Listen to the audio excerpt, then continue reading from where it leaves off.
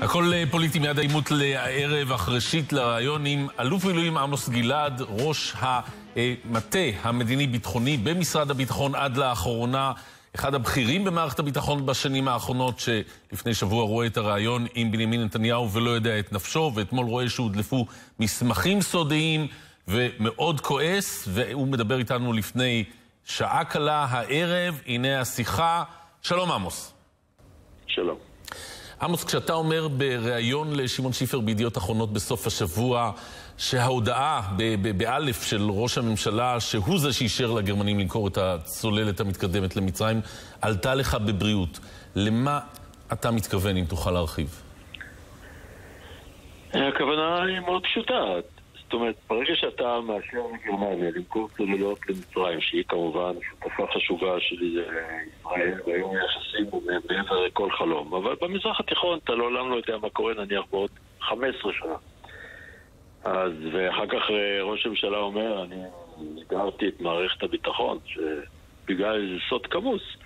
ברור שזה בלתי סביר לחלוטין, ולזה יש גם את כל ההיבטים הפליליים שלא נקשרים אליו, אלא לאנשים מאוד בכירים במשרד ראש הממשלה. ביחד זה יוצר תמונה מפחידה. איך אנחנו מקבלים החלטות על uh, בניין הכוח שלנו, או מתן אישורים לבניין uh, אתגרים עתידיים לביטחון שלנו. למה להערכתך הוא לא התייעץ? למה הוא לא התייעץ? הוא אמר שיש פה איזשהו סוד. הוא לא אמר מהו הסוד, אז אני ודאי לא רוצה לנחש מהו הסוד. רק אני חושב שבבניין כוח אין, או יודע, בבניין כוח של צבא ענק כמו צה"ל, אין דבר כזה סוד ששר הביטחון או הרמטכ"ל לא יודעים.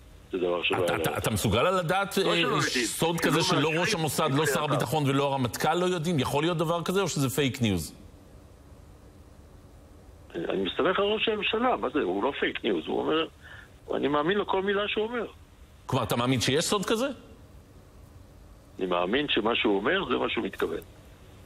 אבל זה לא סביר. למה הוא נתן אישור לגרמנים למכור את הצוללת לא המתקדמת? הוא אמר שיש פה איזה סוד. אם, הוא, אם יש איזה סוד והוא לא מגלה, אז בטח אני לא רוצה לגלות, אני רק יכול לומר... האם יכול להיות סוד שלא יכול... יודע לא ראש המוסד, לא רמטכ"ל, לא, לא שר הביטחון באותה תקופה? ראש הממשלה יש לו עוצמה אדירה בישראל. הוא גם ממונה ישירות על המוסד, ספק את כל מיני פעילויות. אבל אף אחד מהגופים האלה לא ידע על הסוד הזה. רגע, רגע, רגע. שנייה, אני עונה.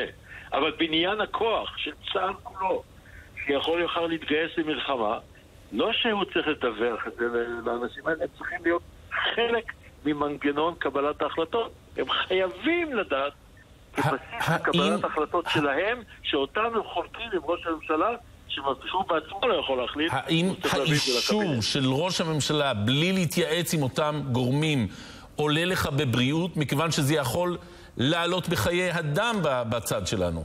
ברור, מה. אני אמרתי שזה מזעזע, כן. מזעזע. כי יש להם אחריות, אתה, אתה לא יכול לפגוע ביכולת שלהם לממש את אחריותם. זה לא שהרמטכ"ל בוחר אם הוא רוצה לדעת או לא. הוא חייב לא לדעת, הוא חייב לנקוט עמדה. הוא אומר, אתה רוצה ראש הממשלה, נגיד 40 צוללות, בסדר, אני אומר לך, תיקח רק 4. אין לי אמצעים אחרים, זה בניין הכוח. ראש הממשלה אומר, לא מסכים. אז מביאים את זה לקבינט. אנחנו מדינה דמוקרטית, יש לנו מוסדות. אז מה היה חדש בעצם במוצאי שבת? מה, מה בעצם היה חדש במוצאי שבת בריאיון לקרן מרציאנו? שהוא אמר שהוא בידר מערכת הביטחון. אם הוא לא, אם הוא לא אומר, אגב, אני לא הייתי מדבר על זה. שהוא אתה... יודע בזה בעצמו, זה... אוקיי. אתמול אה, בערוץ אה, אחר, מתחרה, אה, עיתונאית מתחרה, מציגה מסמכים שאתה בעצמך כתבת. מהם ניתן היה להבין שכבר ב-2012 יש מצב שאתה כן היית חלק ממערך ההחלטות וההתלבטויות, ואולי גם צה"ל, ואולי גם שר הביטחון, ואתם כן אישרתם את מכירת הצוללות. צריך להבדיל, לא נכון, לא אישרנו. אז תסביר. צריך להבדיל בין ידיעה של, של תופעה או אתגר, לבין מה אתה עושה איתו. השאלה אם ידעת שמקור המכירה של הגרמנים למצרים הוא ראש הממשלה בעצמו בלי להתייעץ עם אף אחד. אני לא רוצה להגיד מה ידעתי, אני אומר מה ראש לא? הממשלה אמר. בזה אני מסתכל. לא, למה שלא תגיד אם ידעת אז שראש הממשלה הוא שאישר? אני לא רוצה להגיד, ואני לא אגיד בפומבי שום דבר, אוקיי. מה ידעתי ומה לא ידעתי עליו. יש כאלה שדורשים... מדוע אני לא יכול להגיד? כי זה קשור לעוד כל מיני דברים שקשורים לביטחון. אגב, הוצאת המסמכים האלה, אה, מה דעתך עליה? העבירה החמורה ביותר זה ממש מעילה באמון ברמה גבוהה מאוד. בגידה? המסמכים, יש פה שני דברים, זה מעילה באמון וזה גם חלק מהמסמכים, זה לא נותן את כל התמונה, זה נועד להטעות ולטשטש את חומרת הבעיה. מעילה באמון, לא... מעילה באמון ופגיעה בביטחון? זה מה שקרה כאן עם הדלפת המסמכים? חד משמעית. מי שמדליף מסמכים סודיים ביותר כדי לשרת איזושהי מטרה, הוא מועל באמון, כן. זה גורמים שקרובים לראש הממשלה? אני יכול מחר להוציא אה, מסמכים, ואחר כך אחר יכול להוציא מסמכים, ולאט לאט נשאר גם בלי סודות. האם מדובר בגורמים שמקורבים לראש הממשלה להערכתך? אני לא יודע. זה שהשב"כ יחקור מי שרוצה. יש מקום לחקירה בשאלה מי הדליף את המסמכים האלה? אני בכלל הייתי ממנה, אני הייתי חוקר את כל העניין הזה, כיוון שיש פה גם היבטים פליליים.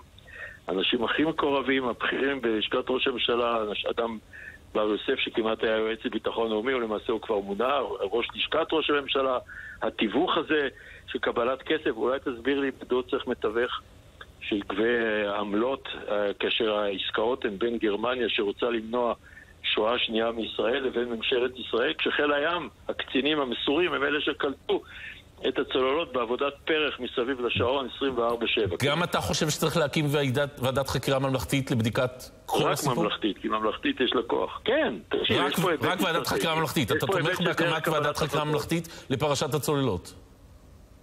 אני חושב שזה חיוני, מה זה? בשביל זה הקימו את החוק הזה. אם, באמת, יש פה ש... זה, זה שערורייה רבת מימדים. רב מימדית. תודה רבה לך.